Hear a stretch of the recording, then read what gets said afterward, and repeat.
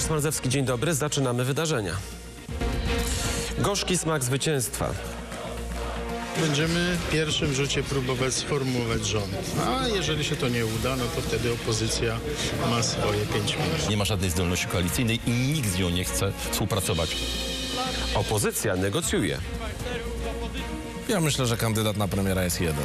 Będzie dialog, porozumienie, nie będzie e, rumakowania, nie będzie stawiania nikogo pod ścianą. Nowy rząd będzie dawał poczucie bezpieczeństwa obywatelom, że się nie kłócimy. Parlamentarne sukcesy Nazywam się Łukasz Litewka i pewnie mnie już trochę znacie. i porażki. Bardzo mi szkoda, bo Tadeusza Cymańskiego bardzo cenię. Czerwona kartka, jest coś w tym symbolicznego. Po negatywnych wypowiedziach o kobietach y, kobieta y, przeskakuje go, jeżeli chodzi o wynik wyborczy. Przeliczono 100% oddanych w wyborach parlamentarnych głosów. Mamy więc e, wyniki, ale wciąż czekamy na konferencję Państwowej Komisji Wyborczej. Te wyniki są bardzo zbliżone do tych pierwszych sondażowych. W wydarzeniach już teraz Bartosz Cebeńko. Powiedz, jak zagłosowali Polacy i ile mandatów w nowym Sejmie zdobyły poszczególne partie. No, sprawa jest jasna, chociaż faktycznie jeszcze do e, konferencji Państwowej Komisji Wyborczej mamy kawałek. 35% e, ponad, 35,4 to jest Prawo i Sprawiedliwość, 30,7 Koalicja Obywatelska, trzecie miejsce Trzecia Droga, 14,4, dalej Lewica, 8,6 Konfederacja to wynik e, 7,2, pozostałe partie poniżej e, progu wyborczego. E, Interia policzyła, jak to przełoży się na mandaty. Zobaczmy, jak będzie wyglądał Sejm. Zjednoczona Prawica 194 miejsca, 157 dla Koalicji Obywatelskiej, 65 Trzecia Droga, 26 Lewica i 18 miejsc Konfederacji, co y, jasno y, oznacza, że y, Koalicja Obywatelska, Trzecia Droga i Lewica, jeżeli zawiążą koalicję, będą miały sejmową większość, tym samym Prawo i Sprawiedliwość nie będzie partią rządzącą. E, To, czego możemy sobie pogratulować, to, z czego możemy być dumni, to frekwencja. Państwowa Komisja Wyborcza e, dane, jeżeli chodzi o frekwencję, to 74,4%. Rekordowa, nie było takiej od 89 roku. I ta frekwencja na pewno zapisze się na kartach historii e, w rubryce Wybory parlamentarne do Sejmu i Senatu 2023 roku. O ostatecznych wynikach wyborów Bartosz Cebańko bardzo dziękuję. Rekordowo wysoka frekwencja to oczywiście powód do dumy. Liczenie protokołów nie obyło się jednak bez problemów. Warszawska komisja została zasypana tymi z zagranicy. Nerwowe oczekiwanie na ich zatwierdzenie trwało nawet kilkadziesiąt godzin. Paweł Gadomski. Zdjęcie, które stało się symbolem problemów z podliczaniem głosów oddanych za granicą. Członkowie komisji w brytyjskim Peterborough mieli już dość czekania od poniedziałkowego rana na zatwierdzenie swoich protokołów wyborczych. Dlatego wczoraj wieczorem tak postanowili wywrzeć presję na PKW. Ludzie mdleją. E, to jest e, nienormalna sytuacja. O kłopotach z zatwierdzaniem protokołów z głosowania alarmowały nie tylko komisje z Wielkiej Brytanii, ale też w Holandii i Belgii. Nam również zależy, by, że wszystkie głosy zostały podliczone, ale nie wszystko od nas zależy. No, trzeba mieć na uwadze, że te protokoły trafiły z 90 e, przeszło krajów. W Okręgowej Komisji w Warszawie, gdzie spływały protokoły z zagranicy, wczoraj wieczorem na zatwierdzenie czekało jeszcze ponad 300 z nich. Ile jest takich protokołów? W komisji z interwencją poselską po 21 pojawił się Michał Szczerba. Każdy głos jest ważny i każdy, każdy, każda Polka i każdy Polak, którzy stali w gigantycznych kolejkach za granicą, Zdajemy sobie z tego sprawę. Jesteśmy odpowiedzialni, tak jak powiedziałem, o pracę drugą dobę. PKW uspokajała, że jeśli w ciągu 24 godzin komisja przekaże protokoły z głosami, to one nie przepadną. To wszystko trzeba zweryfikować, to wszystko trzeba sprawdzić. To jest naprawdę żmudna praca, i którą trzeba e, no, rzetelnie wykonać. Bo, bo ona ma przełożenie na prawidłowe e, ustalenie wyników głosowania. Gdyby jednak okazało się, że protokoły trzeba poprawić, to jak informował korespondent RMF, na przykład w komisji w brytyjskim Sheffield byłyby z tym problemy, bo po wielu godzinach czekania na zatwierdzenie wyników członkowie komisji powiedzieli dość i poszli do domów. Rano okazało się jednak, że wszystkie głosy z zagranicy zostały w końcu zaliczone i złożyły się na rekordową, niewidzianą u nas wcześniej frekwencję. W skali całego kraju wyniosła ponad 74%, najwyższa była na Mazowszu. A to oznacza dodatkowe wydatki z budżetu, bo gminom do 20 tysięcy mieszkańców, takim jak Kulesze Kościelne, za frekwencję powyżej 60% rząd obiecał minimum pół a nawet 2,5 miliona złotych nagrody. Czy te pieniądze nas trafią? No będziemy, będziemy o to zabiegać, tak? No, zostało obiecane, więc my y, idziemy po swoje. Nagrodę dostał też właściciel pizzerii, z której za darmo dowożono jedzenie czekającym w długiej kolejce do głosowania mieszkańcom wrocławskiego Jagodna. Ludzie z całej Polski robią mu teraz przelewy za zamówienia z prośbą, by ich nie realizować. Wyszło spontanicznie, a w ogóle z tego się zrobiło coś fantastycznego, nie? W ogóle jakaś taka akcja, no jesteśmy zdumieni, nie? Widać, dobre uczynki jednak popłacają. Paweł Gadomski, Wydarzenia. Są wyniki wyborów, teraz z nich trzeba ulepić nowy rząd. Zarówno PiS, jak i opozycja ogłaszają sukces, ale to połączone siły Koalicji Obywatelskiej, Trzeciej Drogi i Lewicy mają parlamentarną większość. Za potencjalnym koalicjantem rozgląda się jednak także Zjednoczona Prawica. O tym, kto dostanie misję stworzenia rządu, zdecyduje prezydent. Ewelina Niemirka. Czwarte zwycięstwo. Nigdy w życiu nie byłem tak szczęśliwy.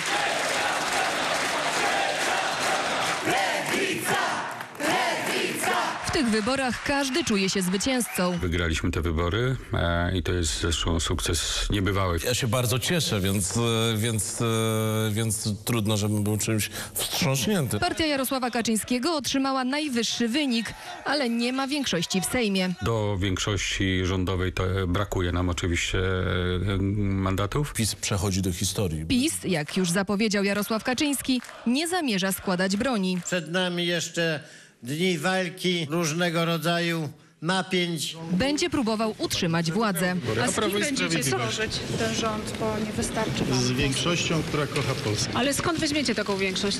No to już to nie moja jest? wina, że nie ma ludzi w Sejmie kochających Polskę. Nie ma żadnej zdolności koalicyjnej i nikt z nią nie chce współpracować. My zapowiedzieliśmy, że nie wejdziemy w koalicję ani z PiSem, ani z Platformą. Nie, nie Słowa mówimy o to koalicji. trzymamy. Po ośmiu latach rządów Prawa i Sprawiedliwości to opozycja ma szansę na powrót do władzy i utworzenie koalicyjnego gabinetu.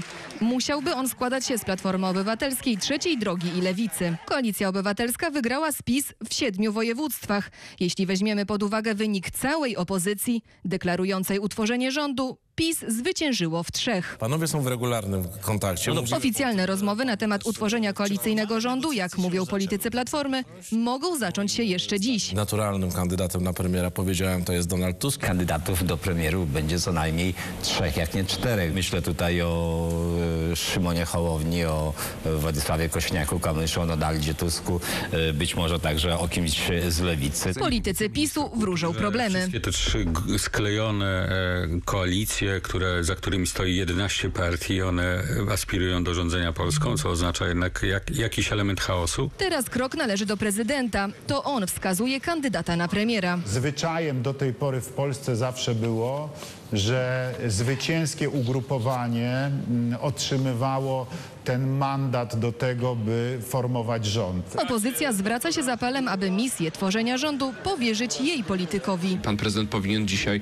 e, w najbliższych dniach oczywiście, przeprowadzić takie konsultacje. Przed nami etap, e, etap pierwszych posiedzeń Sejmu Senatu.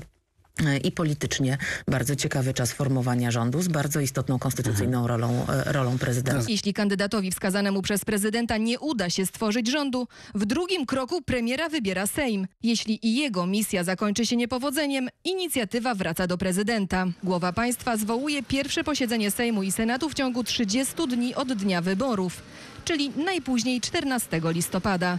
Ewelina Niemirka, Polsat News.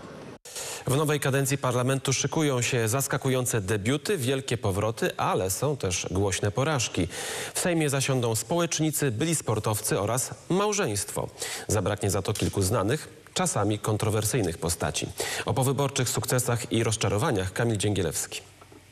Łukasz Litewka na razie nie myśli o przeprowadzce do Warszawy. Zostaję w Sosnowcu, w moim regionie, tutaj gdzie mam rzeszę ludzi, którzy idą ze mną, działamy razem, a do Warszawy będę jeździł pociągiem. Radny z Sosnowca osiągnął w wyborach imponujący wynik, startując z ostatniego miejsca na liście lewicy na Śląsku. Co więcej, zdobył dwa razy więcej głosów niż lider ugrupowania Włodzimierz Czarzasty. Mamo, który program? Synu, przecież masz swój. A, no przecież. Część wyborców przekonała kampania w mediach społecznościowych i oryginalna kampania billboardowa. Myślę, że na pewno zwróciło uwagę. Spektakularnym wynikiem może pochwalić się Donald Tusk. Lider Platformy Obywatelskiej w Warszawie zdobył ponad pół miliona głosów. To więcej niż wszyscy kandydaci PiS na warszawskiej liście. Obóz e, związany, skupiony wokół Platformy zdecydował, no, po prostu się zmobilizował.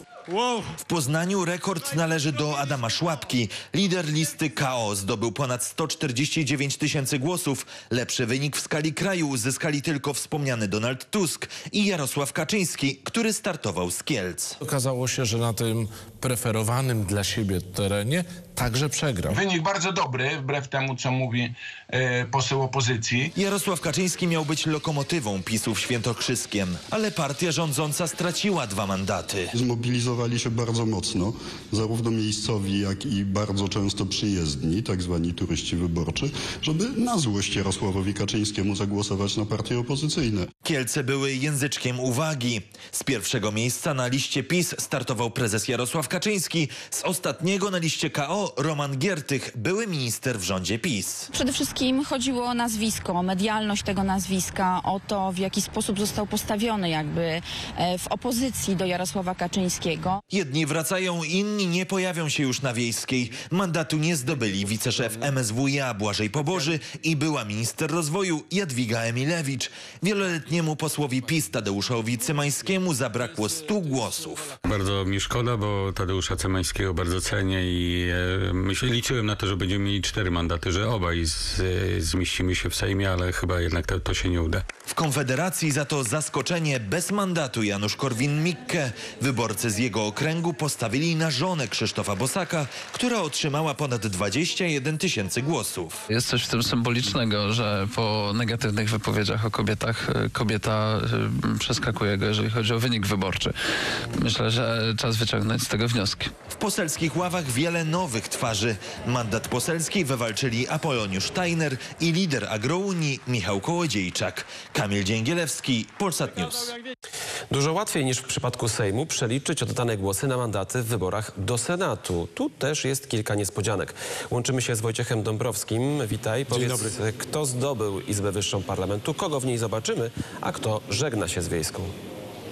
W Senacie można powiedzieć bez zmian. To było do tej pory przez ostatnią kadencję Królestwo Opozycji i wiele wskazuje na to, że wszystko wskazuje na to, a w zasadzie jest już pewne, że tak zostanie przez w ciągu tej kolejnej kadencji, najbliższej kadencji są dwie zmiany. Pierwsza jest taka, że to już nie będzie Królestwo Opozycji, ale partii rządzącej, no, a druga zmiana jest taka, że politycy dzisiejszej opozycji, którzy od teraz będą dominować w Senacie, będą mieli zdecydowanie więcej mandatów, zdecydowanie więcej senatorów niż to było do tej pory. Pakt, koali- pakt opozycyjny to się sprawdziło, pakt senacki to się sprawdziło, 66 mandatów mm, dla właśnie dzisiejszej jeszcze opozycji, 34 mandaty dla Prawa i Sprawiedliwości. Kto wchodzi nowy, jakie nowe twarze, jakie nowe nazwiska? Nowe, ale znane. Grzegorz Schetyna, Małgorzata Kidawa-Błońska, mm, Adam Bodnar, to jego debiut w parlamencie, generał Mirosław Różański, Waldemar Pawlak, trzykrotny premier, n- Magdalena Biejat z Lewicy. To są te nowe nazwiska. W Prawie i Sprawiedliwości nazwiska w zasadzie y, te najważniejsze zostają, czyli Marek Pęk, Wojciech Skurkiewicz. Tych senatorów jest mniej, a kogo nie będzie?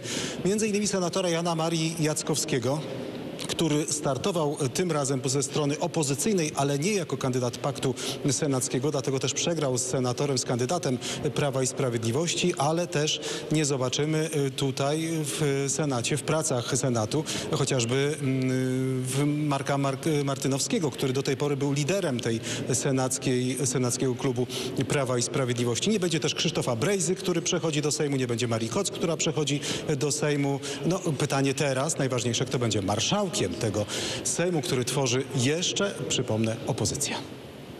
Z Senatu dla Wydarzeń Wojciech Dąbrowski. Bardzo dziękuję. Przed wyborami były sondaże, w których balansowali na granicy progu wyborczego. Ostatecznie wchodzą do Sejmu, są w nim trzecią siłą i zdobyli ponad 60 mandatów.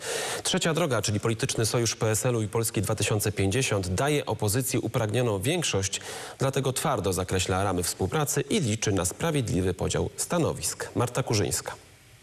Pobiliśmy rekord świata. Tak o wyniku trzeciej drogi mówi lider PSL-u. Ludowcy i Polska 2050 wprowadzą do Sejmu 65 posłów. Sukces smakuje podwójnie, bo jeszcze przed wyborami obecność trzeciej drogi w nowym parlamencie nie była oczywista. Sondaże wahały się niebezpiecznie blisko 8% progu dla koalicji wyborczych. Dziś Władysław Kosiniak-Kamysz zdradził, co w ostatnim czasie słyszał bardzo często. Że nie mam strategii dla PSL-u, że będę grabarzem. No, to, to jest jakaś ta, na końcu drogi ta satysfakcja. Polityczny mariaż ludowców z partią Szymona Hołowni przyniósł efekt. Trzecia droga chciała i wiele na to wskazuje, że będzie kotwicą demokracji. PSL zyskał w miastach, nie tracąc wyborców wsi. W sukcesie paradoksalnie mogli pomóc najwięksi konkurenci. Prawdopodobnie e, trzecia droga ten bardzo dobry wynik e, w dużym stopniu zawdzięcza przyjaciołom z PiSu. PiS podjął działania zmierzające do tego, żeby rzeczywiście trzecią drogę wyeliminować, to znaczy pozbawić możliwości objęcia jakichkolwiek mandatów. Efektem było to, że z jednej strony wyborcy, a z drugiej strony również e, liderzy formacji politycznych podjęli działania zmierzające do tego, żeby jednak e, trzecią drogę chronić. Ludowcy już wyznaczają czerwone linie. Żadne sprawy światopoglądowe nie, nigdy nie mogą być elementem umowy koalicyjnej i tutaj na, na jakiekolwiek e, wpisywanie w umowy koalicyjne spraw światopoglądowych się nie zgodzę. Naprawdę wróżę bardzo burzliwe rozmowy. Liczba mandatów przekłada się także na pozycję w negocjacjach o wspólnym rządzie, choć lider ludowców nie będzie e, rumakowania. nie chce iść na zwarcie z Platformą Obywatelską, bo zwykle stanowisko premiera przypada formacji, która w ramach koalicji zdobyła najwięcej głosów. Ja myślę, że kandydat na premiera jest jeden. I nazywa się Donald Tusk. Ja myślę, że wyborcy się wypowiedzieli. Ale do podziału jest dużo więcej niż teka premiera. Mamy y, naprawdę do rozdania przynajmniej trzy najważniejsze funkcje w państwie, czyli marszałek Sejmu, marszałek Senatu i premier. I w związku z tym oni się powinni umówić w zależności od tego, y, jakie są realizować cele i w jakiej konfiguracji. Trzecia droga okazała się nie tylko języczkiem uwagi w opozycyjnych koalicyjnych układankach. O jej polityczne względy walczy też wciąż liczący na uzyskanie większości PiS. Jeżeli mamy, mamy, mamy myśleć o tym, żeby stworzyć e, koalicję, jeżeli, jeżeli tą misję e, ewentualnego utworzenia rządu e, otrzyma polityk e, Prawa i Sprawiedliwości, to, to, to, to jest jakby na- naturalne, że takie rozmowy będą. Lider ludowców odpowiada krótko. Nie ma szans. I dodaje, że w tym politycznym rozdaniu asy w rękawie trzyma opozycja. Marta Kurzyńska, Polsat News. Zamach w stolicy Belgii. Policja w trakcie próby zatrzymania śmiertelnie raniła 45-letniego mężczyznę, który w Brukseli wcześniej zastrzelił dwóch Szwedów. To piłkarscy kibice, którzy przyjechali na mecz swojej reprezentacji. Zamachowiec wykrzykiwał religijne hasła. Był nielegalnym imigrantem. Katarzyna Pyssa. Szwedzcy kibice przylecieli do Brukseli, by dopingować swoją drużynę w eliminacjach do Euro. Ale w jednej chwili piłkarskie emocje zastąpiła rozpacz i przerażenie. Wszystko za sprawą tych strzałów. W centrum miasta, 5 kilometrów od stadionu, mężczyzna zaczął strzelać do przechodniów. Miał krzyczeć Allahu Akbar. Po wszystkim uciekł na skuterze. Wciąż jestem w szoku. Nigdy nie widziałem strzelaniny. Mężczyzna krzyczał, a później usłyszałem strzały. Zamarłem. Zginęły dwie osoby, jedna została ciężko ranna. Ofiary to szwedzcy kibice. Ich życie zostało przerwane przez terrorystyczne szaleństwo. Naszymi myślami jesteśmy z rodzinami ofiar. Do pozostałych kibiców wiadomość dotarła w trakcie meczu. Szwedzcy zawodnicy odmówili dalszej gry, a ich rodacy spędzili na stadionie jeszcze dwie godziny, nim policja pozwoliła im wyjść. Jestem zdezorientowana i przestraszona. Myślę, że wszyscy bardzo się boją. Obława na napastnika trwała całą noc. Dziś policjanci namierzyli go w brukselskiej kawiarni. Funkcjonariusze musieli otworzyć ogień. Ranny zamachowiec zmarł w drodze do szpitala. Sprawcą był mężczyzna pochodzenia tunezyjskiego, który przebywał na terenie naszego kraju nielegalnie. 45-letni imigrant sam pomógł służbom, bo niedługo po zamachu opublikował nagrania na Facebooku. Przedstawił się jako bojownik państwa islamskiego i chwalił się zabiciem niewiernych. W przypadku Szwedów miał konkretną motywację. Podejrzewa się to, że ma to związek właśnie e, z zapaleniem Koranu i że to może być jakiś akt, e, no niestety, zemsty. Święta Księga Muzułmanów została spalona we wrześniu w szwedzkim Malmę. Wcześniej kilkukrotnie doszło do tego w Sztokholmie. Za każdym razem incydenty wywołały falę oburzenia w krajach arabskich. Dla Turcji stały się argumentem, by odwlekać zgodę na przystąpienie Szwecji do NATO. Katarzyna Pyssa, Polsat News. Teraz Wałbrzych i groźna sytuacja, do której doszło na parkingu przed jednym z marketów. Potrącona została młoda kobieta. Za kierownicą samochodu siedziało jej trzyletnie dziecko. Ale nie tylko ono nie miało prawa jazdy. Za chwilę Katarzyna Janka opowie, jak wszystko się zaczęło. Ja tylko dodam, że kluczyki do auta lepiej zabierać ze sobą. 13 w piątek wszystko zdarzyć się może, ale w tym przypadku to wydarzyło się na własne życzenie naszej głównej bohaterki. Kobieta wybrała się samochodem na zakupy. Towarzyszył jej trzyletni syn. Zaparkowała przed jednym z marketów i zostawiła syna w aucie. W aucie w stacyjce zostawiła również kluczyki. Trzylatek przedostał się na przednie siedzenie i uruchomił samochód. Auto gwałtownie ruszyło i syn potrącił swoją matkę. Gdy samochód gwałtownie ruszył, uderzył e, kobietę prawą stroną e, pojazdu, przygniótł ją do barierki e, ochraniającej latarnię e, parkingową. E, No na miejsce przyjechał zespół ratownictwa medycznego. Okazało się, że kobieta ma obrażenia w okolicach miednicy. Została przewieziona do szpitala. Kobieta zostawiła kluczyki w stacyjce, to jedno, drugie w ogóle nie posiadała uprawnień do prowadzenia auta, czyli prawa jazdy. Takie zdarzenie w ogóle nie powinno mieć miejsca. To są ludzie po prostu nieodpowiedzialni. Kobieta, która wsiada ze własnym dzieckiem do samochodu, niejednokrotnie po alkoholu czy bez prawa jazdy, to jest nie do pomyślenia. Tyle się mówi, żeby w ogóle dzieci nie zostawiać w samochodzie. Dlatego dla mnie e, zostawienie dziecka, stworzenia, a jeszcze zostawiać faktycznie klucze, to jest bezsens, to jest bezmyślność. będzie miała nauczkę na przyszłość i wyciągnie z tego jakieś e, konsekwencje, z tego, nie wiem, wnioski jakieś, że trzeba zwracać uwagę, nie? Kobietą zajmie się sąd. Grozi jej wysoka kara grzywny za to, że kierowała bez uprawnień oraz stworzyła zagrożenie bezpieczeństwa w ruchu drogowym. Otrzyma również zakaz prowadzenia pojazdów. Dla wydarzeń Katarzyna Jankę, Polsat News. A w wydarzeniach apel o likwidację głośnych dzwonków w szkołach. Apelują o to rodzice dzieci ze spektrum autyzmu, u których taki właśnie nagły i donośny dźwięk powoduje ból. Z tradycyjnej formy rozpoczynania lekcji zrezygnowała już kilka lat temu jedna z łódzkich placówek. Jak na tę zmianę reagują uczniowie? O tym Adam Malik. Ten dźwięk nierozerwalnie kojarzy się tylko z jednym, Te dzwonki były w całej szkole. ale nie wszystkim dobrze. Tak, głośny dzwonek, jaki Janek e, miał w poprzedniej szkole, e, uważam, że jest niedopuszczalny dla każdego dziecka. A szczególnie dla uczniów zmagających się z autyzmem. W sumie już nie pamiętam, jak, jak to, jaki ten dźwięk miał, jakie było uczucie podczas tego dźwięku. Janek zupełnie wyparł z pamięci bodziec, który powodował u niego fizyczny ból. Po prostu wpadał w histerię. Jeśli nawet e, no, słyszał tylko ten dzwonek, a, a w, nim, w nim to wyzwalało tak e, straszne emocje, że ciężko mi było go e, uspokoić. Większość dzieci ze spektrum autyzmu jest nadwrażliwa na dotyk, światło i dźwięk, niektóre ekstremalnie. Mogą powstać pewnego rodzaju reakcje neurologiczne, wręcz może uruchomić się napad padaczkowy, jeżeli oczywiście ktoś ma taką przypadłość. Dlatego te osoby i ich rodziny od lat apelują o zlikwidowanie dzwonków w szkołach. Boję się dzwonków. A ty dlaczego boisz się dzwonków? Tak bardzo są głośne. Mhm. I co ty czujesz, jak Strach i panikę. Dyrekcja Zespołu Szkół Specjalnych w Łodzi zrobiła to już 5 lat temu. W naszym przypadku widzieliśmy chociażby e, zachowania, które powodowały, że dzieci się pionizowały, tak? Mm, dostawały jakiejś dodatkowej spastyczności. Teraz to nauczyciele kontrolują czas i informują uczniów o początku i końcu lekcji. Widzimy na pewno, że e, lepiej dzieci funkcjonują. Zdaniem psychologa dziecięcego nagły hałas nawet u dzieci bez żadnych zaburzeń wywołuje ogromny stres. aktywuje w nas układ współczulny, a zarazem wywołuje jedną z reakcji na stres. Tutaj reakcję walki zazwyczaj. Mamy ten efekt dzwonka, wypadającej klasy. Tak wyglądała każda przerwa w tej łódzkiej podstawówce. pędziły nie wiadomo dokąd.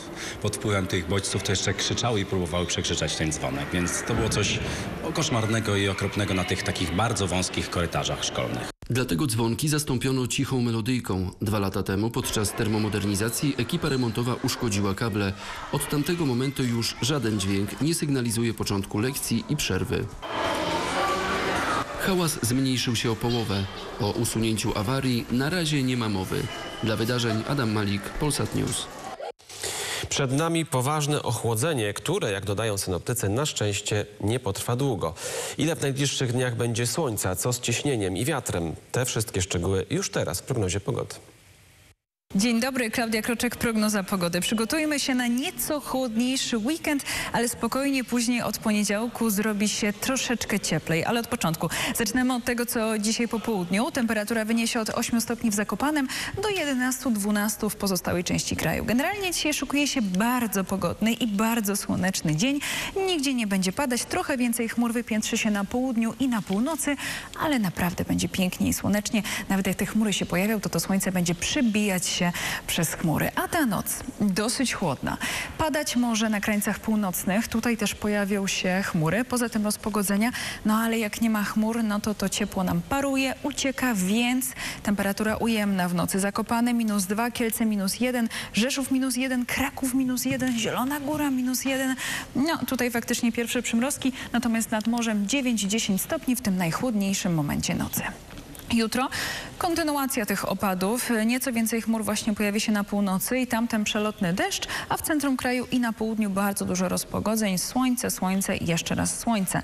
Temperatura 12, 13, 11 stopni. Będzie generalnie bardzo stabilnie w całym kraju, bez dużych różnic. No ale w kolejnych dniach jednak te różnice się pojawią. W czwartek od 5 do 13 stopni z zachmurzeniem umiarkowanym bądź dużym i przelotnym deszczem na północnym zachodzie. Jeśli chodzi o piątek, pojawi się deszcz bądź nawet deszcz ze śniegiem.